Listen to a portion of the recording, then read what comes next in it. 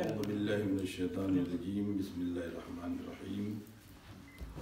الحمد لله رب العالمين والصلاة والسلام والتحية والإكرام على خير خلقه سيدنا ومولانا والشفيع ذنوبنا أبي القاسم محمد.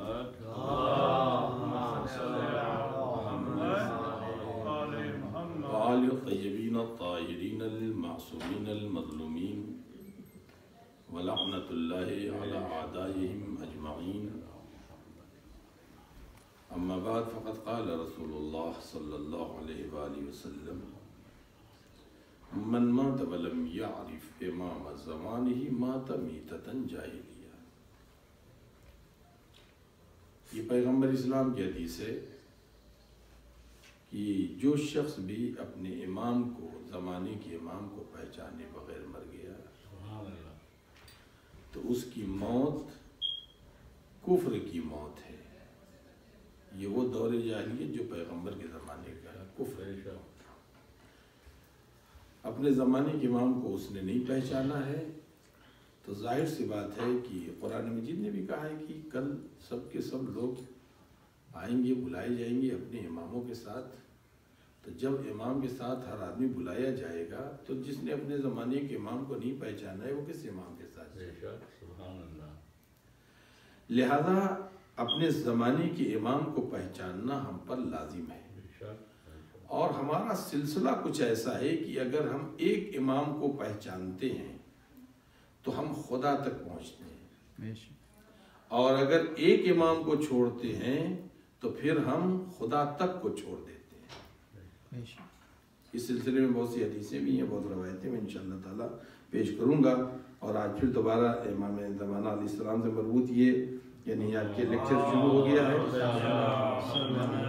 مگر کل سے پھر امام حسن مجتبہ علیہ السلام کے سلسلے سے آپ کے لیکچر شروع ہو گئے تین لیکچر ان کے سلسلے میں کیونکہ پندرہ رمضان المبارک امام حسن مجتبہ علیہ السلام کی ولادت کی تاریخ ہے لہذا یہ گزارش کی گئی ہے یعنی یہ خواہش ہے افراد کی کہ مومن کی کہ جو ہے مطلب تین روز جیسے جناب خدیجہ سلام اللہ علیہ کے سلسلے میں یعنی گفتگو تفصیلی تاریخ کی کی گئی ہے، جو بھی نمونی ہوتی ہے، اس سلسلے میں بھی یعنی کیا جائے تو انشاءاللہ تعالیٰ جو ہے وہ کل ہوگی۔ آج بہرحال تو امام زمانہ علیہ السلام کی یعنی سلسلے سے، کہ ہم جس امام کی امامت میں اس وقت زندگی بسر کر رہے ہیں آیا ہم اپنے امام کو پہچان رہے ہیں یا نہیں پہچان رہے تو اس سلسلے میں جو میں نے اس سے پہلے باتیں تفصیل بتائی کہ امام کا لقب کیا ہے، امام کا نام کیا ہے، امام کی جو یعنی مطلب آپ کے کنیتیں ہیں، وہ امام سے متعلق یعنی جو ائم معصومین علیہ السلام نے فرمایا ہے، اس سلسلے کو اور پھر قرآن مجید میں آپ کو بہت سی آیتیں ملیں گی، جس میں سے ایک آیت جو ہے، آپ کی یہی ہے کہ جس کے سلسلے میں جناب امامی موسی قادم علیہ السلام سے الفضیل نے ابو الفضیل نے اس سلسلے میں سوال کیا تھا امام یعنی ساتویں امام علیہ السلام سے کہ وہ آیت ہے آپ پہلے میں آپ کو آیت سنا دوں کہ یہ تفسیر و برحان میں ابن عباس سے یہ روایت آئی ہے اس آیت کے سلسلے میں لے یظہرہو علی الدین کلہی ولو کرہ المشرکون لے یظہرہو علی الدین کلہی ولو کرہ المشرکون یعنی دین دین اسلام مکمل ظاہر ہوگا۔ مکمل ظاہر ہوگا۔ تمام کا تمام۔ ولو کرے حل مشرکون اگرچہ مشرقین کو کراہت ہی کیوں نہ ہو۔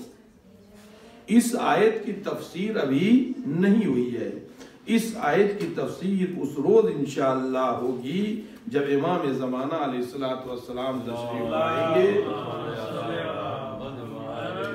اور جب امام تشریف لائیں گے تو پوری دنیا پر کوئی بھی دین نہیں رہ جائے گا سوائے دین اسلام کے۔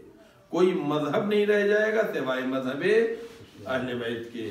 کوئی بھی دین و مذہب سوائے اسلام کے نہیں رہ جائے گا۔ اس سلسلے میں ایک روایت انہوں نے نقل کی ہے۔ اب الفضیل نے یعنی ہمارے اور آپ کے ساتھ امام علیہ السلام سے کہ قل تو، راوی کہتا میں نے کہا، والذی ارسل رسولہ بالہدا و دین الحق لیظہرہ علی الدین کلہ۔ یہ آیت یعنی پوری آیت انہوں نے پڑھی۔ میں نے کہا کہ اللہ وہ ہے جس نے رسولوں کو بھیجا ہدایت کے لیے اور دین حق کے لیے۔ کہ اس کو جو ہے اللہ ظاہر کرے گا، دین کو تمام یعنی پورے تمام ادیان کو مکمل۔ تو اس سلسلے میں راوی کہتا ہے، جب میں نے امام کے سامنے کہا کہ والذی امر رسول لہو بالولایت والوسیت والولایہ۔ اس نے پوچھا تھا کہ اس سے کیا مراد ہے؟ یعنی اللہ تعالیٰ نے یعنی رسول کو جو بھیجا ہے، تو وہ کس لیے؟ تو آپ نے فرمایا امام علیہ السلام نے کہ وہی جو حکم اللہ نے اپنے رسول کو دیا تھا یعنی وہ اللہ کے امر پہنچانے کو، اللہ کے احکام پہنچانے کو اور وسیعت کی تھی اور ولایت کے سلسلے میں ولایت کو جب وہ یعنی حکم دیا تھا۔ پھر اس کے بعد امام علیہ السلام نے فرمایا ہے ہے یہ دین الحق اور یہی دین حق ہے۔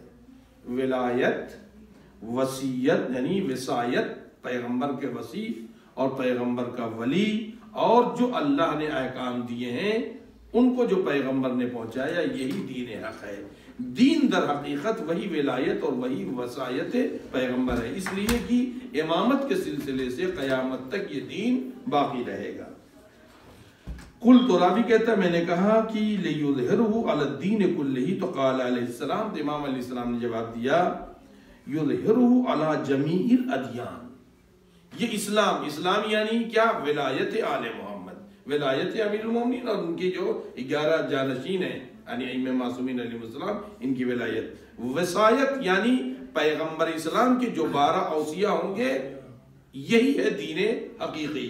یہی ہے دین حقیقی جو امام علیہ السلام نے اپنی حدیث میں ارشاد فرمایا ہے، اور وہ عوامر جو یعنی پیغمبر لے کر کے آئے ہیں۔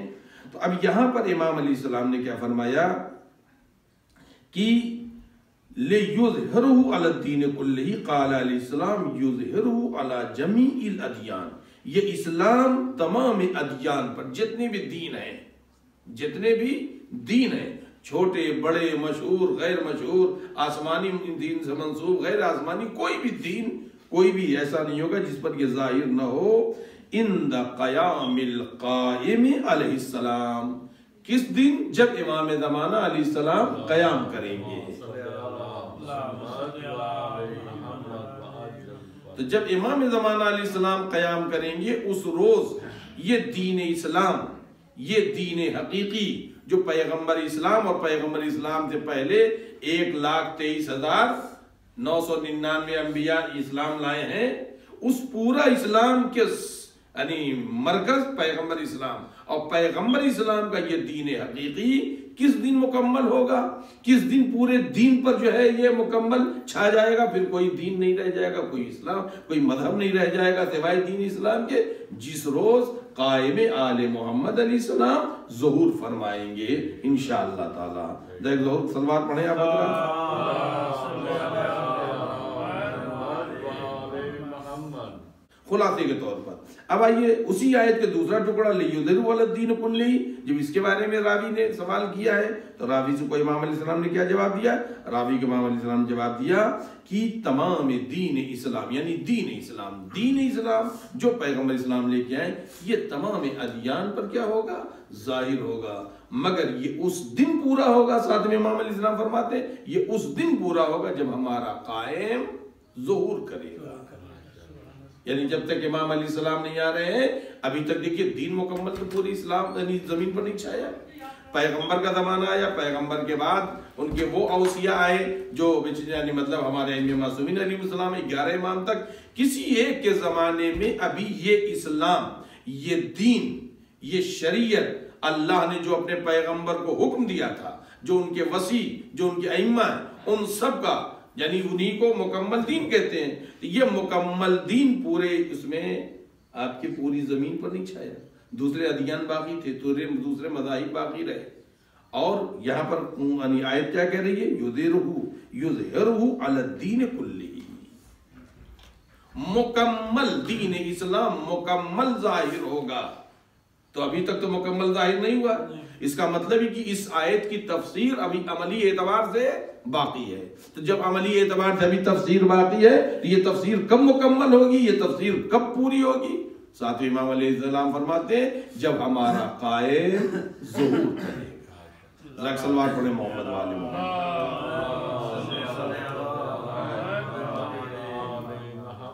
امام زمانہ عجل اللہ تعالیٰ فرج شریف علیہ الصلوۃ والسلام سے مربوط آپ کو بہت سی آیتیں قرآن مجید میں ملیں گی۔ اور میں فقط چونکہ خلاصے کے طور پر میں نے یہ پیش کر دیا، ورنہ اس کے علاوہ بہت سی یعنی آیتیں ہیں اور ان آیتوں کی تفسیریں کی گئی اس میں علماء اہل سنت نے بھی آپ کی باتیں کی ہیں، انہوں نے بھی قلم چلائے ہیں اور انہوں نے بھی اپنی اپنی باتیں کی ہیں۔ امام زمانہ علیہ السلام سے متعلق۔ مگر یہ کہ عزیزان گرامی میں خلاصے کے طور پر کہ جلد یعنی آپ کی تھوڑا تھوڑا تاکہ آپ لوگوں تک پیغام جو ہے معرفت امام زمانہ علیہ السلام کا پہنچ سکے کسی ایک بحث میں پڑھ کر کے اور ایک ہی جگہ رک کر کے میں نہیں چاہتا ہوں کہ یعنی مہینہ ختم ہو جائے۔ لہذا عزیزان گرامی میں فقط اشارے کر رہا ہوں، تھوڑے تھوڑے جو اہل بصیرت ہیں یہ جائیں گے، مطالعہ کریں گے جو اہل بصیرت ہیں اور ان کو تھوڑے سا اگر یہ سہارا مل جائے گا تو ظاہر سی بات ہے، وہ جا کر کے مطالعہ کریں گے اور اپنی معرفت اور اپنی ایمان میں اور اضافہ کریں گے۔ مگر ابتدائی طور سے جتنی ہمیں ضرورت ہے بات اپنے زمانے کے امام علیہ السلام کو پہچاننے کے لیے، تو ہم نے نے امام علیہ السلام کے نام اور ان کے القاب کے سلسلے سے معصومین علیہ السلام کے ارشاد کے مطابق ان کی القاب کی کیا وجہ ہے، اس سے پہلے میں بتا چکا ہوں۔ آج میں نے ایک آیت کا سہارا اس لیے لیا تاکہ اپنی بات آج میں شروع کر سکوں۔ اسی لیے اس آیت کا میں نے سہارا لیا ہے۔ کہ اس آیت میں وہ بھی ابن عباس سے روایت ہے، عزیزان گرامی۔ اور پھر اس کے بعد سے امام موسی قادم علیہ السلام نے اس کی تفسیر کی ہے۔ اس کی تفسیر میں اس آیت کی جو بھی میں نے بیان کیا ہے، امام نے کیا فرمایا ہے؟ امام نے فرمایا ہے کہ پورا دین اس روز مکمل، پورے دیکھئے دین تو مکمل ہو چکا یہ نہ کہیے گا کہ دین مکمل نہیں ہوا ہے۔ پورا دین زمین پر ظاہر ہوگا۔ یہ نہیں کہ دین مکمل ہوگا۔ دین تو غدیر میں مکمل ہو چکا ہے۔ اکمل تو لکم دینکم و اتمم تو علیکم نعمتی۔ آیت کے مقابلے میں تو کچھ نہیں چلے گا نا۔ دین مکمل تو ہو چکا ہے۔ مکمل پوری زمین پر تمام دین ختم اور ایک دین اسلام۔ یہ کب دن آئے گا؟ یہ اس دن آئے گا جب امام زمانہ علیہ السلام کیا کریں گے؟ ظہور فرمائیں گے۔ ذرا ایک اور سلوات پڑھ دیں آپ، حضرات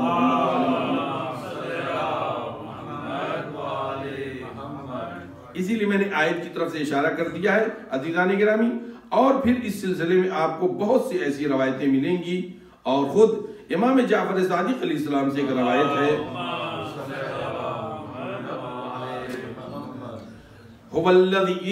اسی آیت کے سلسلے میں ہمارے اور آپ کے چھٹے امام علیہ السلام کی ایک روایت نقل کی گئی ہے۔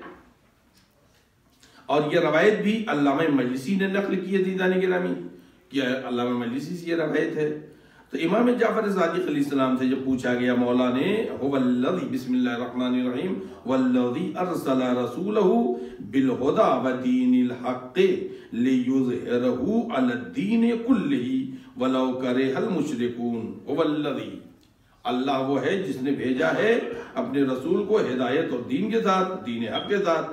اور یہ جی یعنی دین حق جو ہے، آپ کے ظاہر ہوگا تمام دینوں پر اللہ دین کل ہر دین پر۔ ولو کرے ہر مشرکون ولو مشرقین کو پسند نہ آئے، مگر یہ پورے تمام ادیان پر یہ اسلام کی حکومت ہو کے رہے گی اور تمام ادیان کو ختم ہونا ہے، اسلام ایک پرچم توحید پوری دنیا پر پھیلے گا۔ یہ چھٹے امام علیہ السلام سے جب اس آیت کے بارے میں راوی کہتا میں نے پوچھا تو امام علیہ السلام نے کیا فرمایا؟ اب امام علیہ السلام کی بات سن لیں عزیزان گرامی، امام علیہ السلام نے جو فقرہ کہا ہے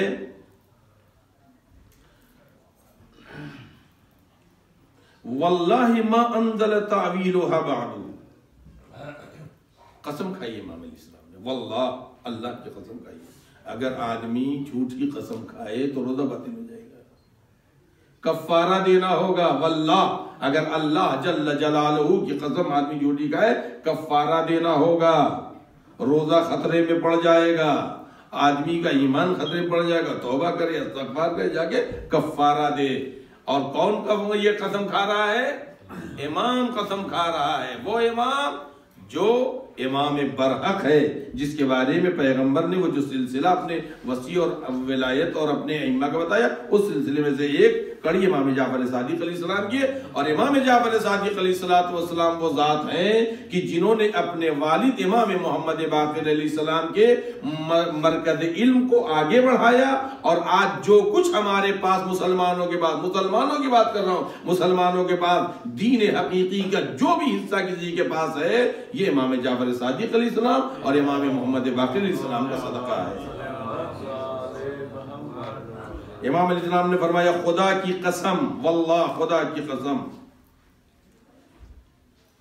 یہ آیت جب سے نازل ہوئی ہے، ما انزل ما انزل تعویلها بعدہ، ابھی اس کی تعویل نہیں ہوئی ہے۔ اس آیت کی تعویل ابھی نہیں ہوئی ہے۔ یہ آیت تو نازل ہو گئی ہے۔ یہ آیت جو ہے آپ کی نازل ہوگی، مگر ابھی اس کی تعویل نہیں ہوئی ہے۔ تو پھر راوی کہتا، میں نے پوچھا فرزند رسول، تو اس کی، اس آیت کی مطلب آپ کی تفسیر اور اس کی تعویل کب ہوگی؟ امام علیہ السلام نے فرمایا کہ قائم جب قیام کریں گے انشاءاللہ، اس وقت اس وقت پورا دین اس دین اسلام یعنی پرچم توحید، یہ پورے دنیا پر لہرائے گا۔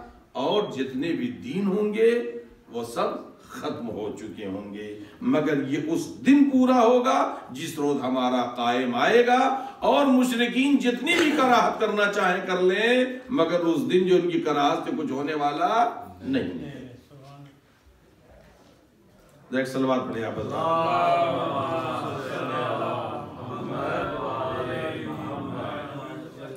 عزیزانی کرامی اس سلسلے میں خود پیغمبر اسلام حضرت محمد مصطفیٰ صلی اللہ علیہ وآلہ وسلم نے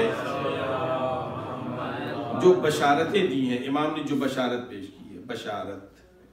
خود یہ پیغمبر اسلام نے، جناب پیغمبر اسلام سے بہت سی بشارتیں آئیں اور ہمارے جتنے بھی ائمہ گزرے ہیں یعنی گیارہ امام، سب نے بشارت دی سب نے بشارت امام زمانہ علیہ السلام کے سلسلے میں سب نے گفتگو کی ہے۔ میں انشاءاللہ تعالیٰ یعنی پوری تفصیل تو آپ لوگوں کے سامنے نہیں پیش کر پاؤں گا، مگر یہ کہ انشاءاللہ تعالیٰ کچھ نہ کچھ تھوڑے تھوڑے ایک ایک فقرے جو ایک ایک باتیں ائمہ معصومین علیہ السلام کی، اس لیے پیش کروں گا تاکہ ہماری معرفت میں اضافہ ہو سکے اور ہمارے پاس وہ دلیل رہے کہ ہم یوں ہی ہوا میں اپنے زمانے کے امام پر ایمان نہیں رکھتے ہیں، بلکہ ہم دلیلوں کے ساتھ اپنے امام کو مانتے ہیں اور یہ بھی یاد رہے عزیزان گرامی، جس روز ہمارے دل کی نگاہیں اپنے زمانے کے امام کو دیکھنے لگیں گی، اس روز گناہ نہیں ہوگا۔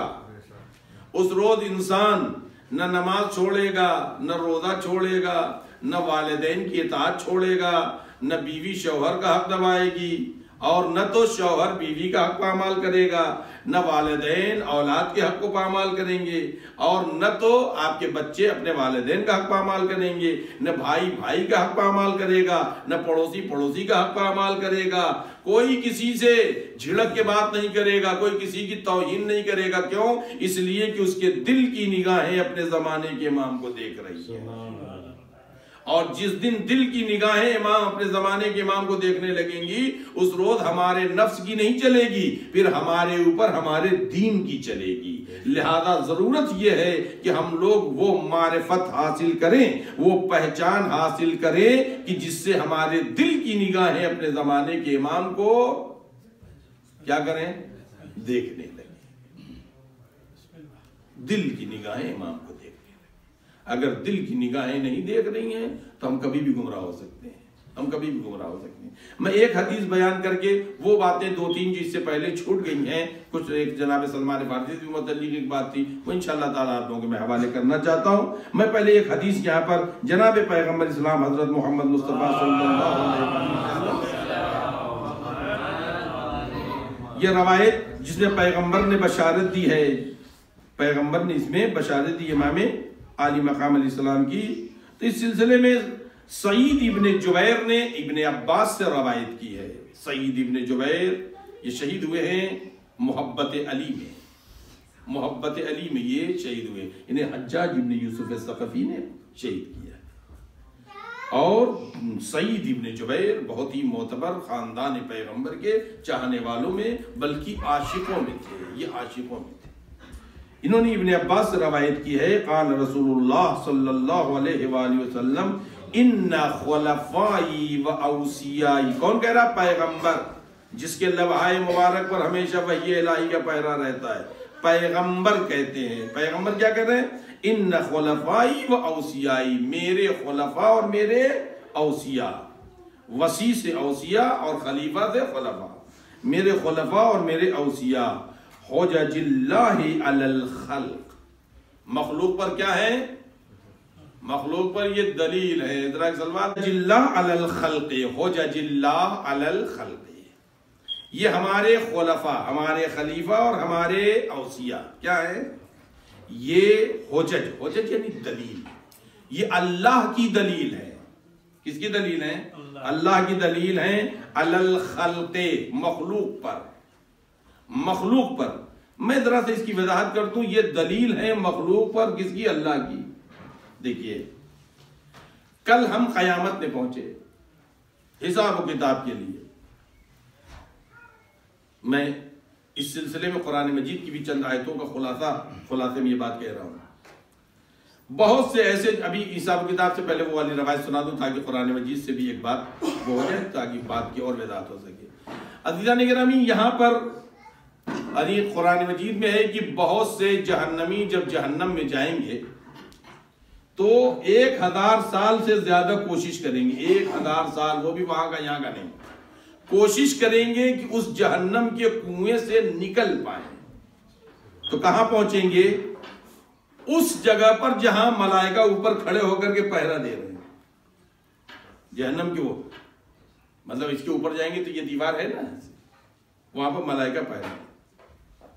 یہ وہ پکڑے ہوئے ہاتھ سے کہ اب یہاں سے تھوڑا ملائکہ آگے کھس کے تم نکلیں یہاں سے۔ تو ملائکہ سے بچ کے کہاں جائے گا؟ تو ختم ہو گیا معاملہ۔ بہانے ہونے کا معاملہ ختم مرنے کے بعد۔ تو لہذا اس وقت امام آنی یہ قرآن مجید کی وایت ہے کہ اس میں ملائکہ ان سے کہیں گے ان جہنمیوں سے، کیا تمہارے پاس کوئی ہدایت کرنے والا نہیں آیا؟ کیا تمہارے پاس کوئی ہدایت کرنے والا نہیں آیا؟ کیا تمہیں کوئی سچا راستہ دکھانے والا نہیں آیا؟ کیا تمہیں توحید خدا بندی کی طرف ہدایت کرنے والا کوئی نہیں ملا؟ کیا تمہارے پاس کوئی بھی اللہ کی جانب دعوت دینے والا نہیں آیا؟ تو یہ جہنمی کیا جواب دیں گے ان ملائکہ کو؟ کہیں گے نہیں، آیا تھا۔ آیا تھا۔ اس لیے کہ وہاں تو بانے بازی نہیں چلے گی، وہاں تو زبان کی نہیں چلے گی نا۔ وہاں تو سب معاملہ سچ سچ چلے گا۔ آیا تھا، مگر ہم اس کو بے وقوف سمجھتے تھے۔ جیسے آج کل ہماری عوام جو ہے، مولویوں کو بے وقوف سمجھتی ہے۔ سمجھا بیٹھ کے باتیں کرے گی، کبھی اپنا موبائل دیکھے گی، کبھی جو ہے معلوم ادھر ادھر وقت گواں دے گی۔ مگر ارے، بے وقوفوں کی بات کون سنے گا؟ مگر جب پڑھتی ہے تو پھر انہی بے وقوفوں سے کہا جاتا التما سے دعا۔ انہی بے وقوفوں سے کہا جاتا التما سے دعا۔ مولانا ذرا دعا کریے گا بڑی بیماری ہے مولانا دعا کریے گا اما ہاسپٹلائز مولانا دعا کریے ارے پاگلوں کی دعا تھوڑی قبول ہوتی بے وقوفوں کی عقل مندوں کی آپ جائیے بوٹیٹ سوٹیٹ ٹائی ہوئی لگا کر کے کسی چرچ پہ کھڑے ہوئیے دعا کریے دعا قبول ہو جائے گی عزیزانی گرامی ان جہنمیوں نے کیا کہا یعنی وہ جہنمی کیا کہیں گے قرآن کہتا ہے وہ جہنمی ان ملائکہ سے کہیں گے کہ آیا تو تھا مگر ہم انہیں بے وقوف سمجھتے تھے۔ اب پتا چلا بے وقوف ہم تھے عقل مند وہ تھے۔ یہ ایک کیوں؟ اللہ کی دلیل ہے۔ ائمہ ہمارے کیا ہیں؟ ہمارے انبیاء کیا ہیں؟ اللہ کی دلیل ہے۔ ائمہ ہمارے کیا ہیں؟ اللہ کی دلیل ہے۔ پیغمبر کیا کہنے؟ ہو جا جلہ۔ ہمارے خلفاء اور ہمارے اوسیاء کیا ہے ہو جا جلہ۔ اللہ کی دلیل ہے کس پر؟ الخلق مخلوق پر۔ مخلوق پر۔ اب اگر ہم نے کوئی عمل کیا اور کل ہم سے پوچھا جائے گا، یہ کام تم نے کیوں کیا؟ میں کہوں گا، میرے امام نے کہا تھا۔ میرے امام نے کہا تھا۔ یعنی گویا وہ ہمارے لیے دلیل ہے خدا کی بارگاہ میں، اور خدا کی دلیل ہے جب ہم جھوٹ بولنے لگیں گے، بہانے بازی کرنے لگیں گے۔ کیا میرے اولیاء نہیں آئے تھے؟ میرے اوسیاء نہیں آئے تھے؟ میرے رہبر نہیں آئے تھے؟ یہاں پر رک کر کے میں ایک بات کہنا چاہتا ہوں عزیزانی گرامی۔ ذرا غور سے سنیے گا اور اس پر توجہ دیجیے گا۔ پیغمبر نے کیا فرمایا؟ خلفائی و اوسیائی حجج اللہ۔ میرے خلفاء اور میرے اوسیاء کیا ہیں؟ اللہ کی دلیل ہیں۔ یعنی آپ کو اگر کوئی بات کہنی ہوگی، مثال کے طور پر آپ یہاں پر آ رہے ہیں، آتے آتے آپ کو جو ہے مطلب دروازہ کھلا تھا، چلے آئے۔ کسی آدمی نے آپ کے ہاتھ میں ہتھکڑ ڈال دیا یہاں کیوں چلے آئے۔ کہ بھئی یہ سینٹر ہے، یہ ٹائم ہے، یہ وقت ہے، یہ کھلنے کا ہے۔ میں آیا ہوں یہ عبادت کرنے کے لیے۔ دلیل آپ نے اٹھا کر کے دکھا دیا صدر صاحب کا وہ میسج، تب یہ دیکھیے۔ دلیل اسے کہتے ہیں، جس سے انسان اپنے عمل کو صحیح ثابت کر سکے۔ پیغمبر نے کیا فرمایا؟ ان اوسیائی و اولیائی، میرے اوسیاء، میرے خلفائی و اوسیائی، میرے خلفاء اور میرے اوسیاء کیا ہیں؟ ہوجا جل ہوجا جلہ اللہ کی دلیل ہے الخل کے مخلوق پر۔ ہم جو کچھ بھی عمل کرتے ہیں، میرے مالک کل اللہ پوچھے گا، ایسا کیوں کیا؟ پروردگارہ، میرے امام نے کہا تھا۔ میرے امام نے کہا تھا، میرے امام نے کہا تھا۔ سب یہ کہیں گے نا، ہم نے یہ نمازیں کیوں پڑھی؟ امام نے کہا تھا۔ ہم نے یہ روزے کیوں رکھے؟ میرے امام نے کہا تھا۔ یہ میرے امام نے کہا تھا۔ یہ میرے امام نے کہا تھا۔ عزیزان گرامی، امام تو پردے غیب میں آئے۔ ہمارا امام تو پردے غیب میں ہم اپنی نمازوں کا کیا کریں؟ خالی نمازوں کی بات نہیں ہے۔ نماز روزے کی بات نہیں ہے۔ یہ جو نکاح کا ہو رہے ہیں، اس کو ہم کیسے صحیح مانیں؟ اس کو ہم کیسے صحیح مانیں؟ دوسرے مسلک بھی مسلمانوں میں، کہتے ہمارا نکاح صحیح ہے۔ دوسرے مذہب ہے پوری دنیا میں، کہتے ہمارا نکاح صحیح ہے۔ اب بتائیے، ہم کل اللہ پوچھے کہ تم ایسے نکاح کیوں پڑھتے تھے، تو ہم لوگ کیا کریں گے؟ ازاداری مناتے، ایسے ازاداری کیوں تم نے منائی؟ کل اللہ پوچھے گا، تم کیا کہیں گے؟ ہمارے پاس کیا دلیل ہے؟ امام تو ہمارا پردے غیب میں، امام نے کسی سے ڈائریکٹ آگے کہا؟ کہا کسی سے؟ کسی کے پاس کوئی سفیر بھیجا ہے؟ میسج بھیجا کسی کے پاس؟ نہیں نا؟ غور کریے گا دیدان گرامی اسی لیے جب امام زمانہ عجل اللہ تعالی فرجہ الشریف علیہ السلام غیبت کبرہ میں جانے لگے تھے امام نے کیا فرمایا؟ جو ہماری حدیثوں کا سب سے زیادہ عالم ہوگا، صاحب کردار ہوگا، صاحب کریکٹر ہوگا، صاحب عمل ہوگا اس کی باتوں پر عمل کرنا کہ وہ میری جانب سے حجت ہے۔ ہم سمجھے اب آپ تقلید کیوں کرتے ہیں؟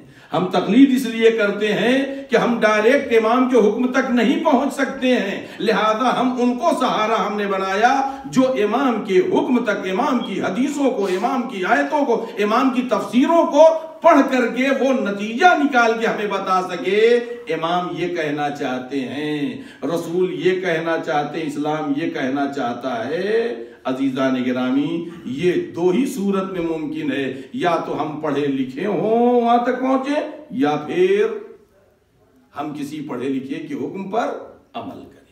عزیزان گرامی، یہ جو پیغمبر نے فرمایا ہے کہ ہمارے خلفاء ہمارے خلفاء اور ہمارے اوسیاء حجج اللہ ہیں، اللہ کی حجت ہیں، کس پر؟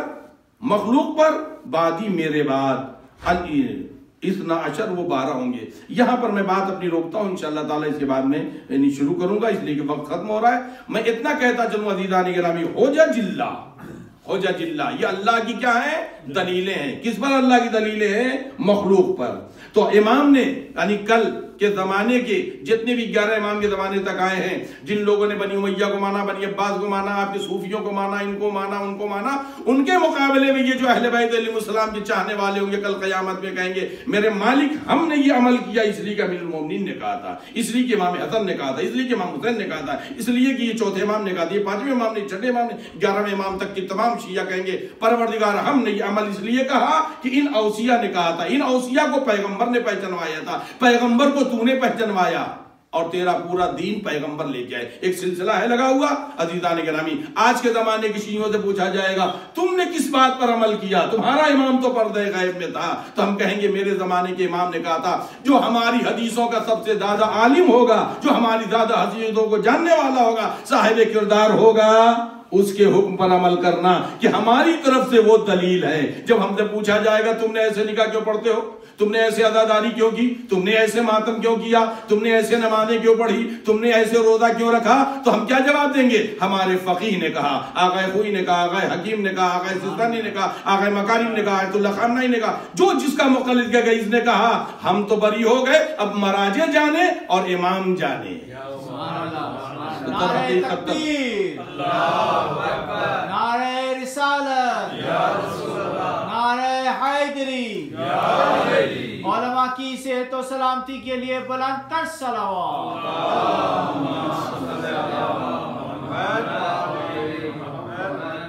لہذا دیدان گرامی ضرورت اس بات کی ہے ہم جذبات سے کام نہ لیں اپنے ہوش سے کام لیں۔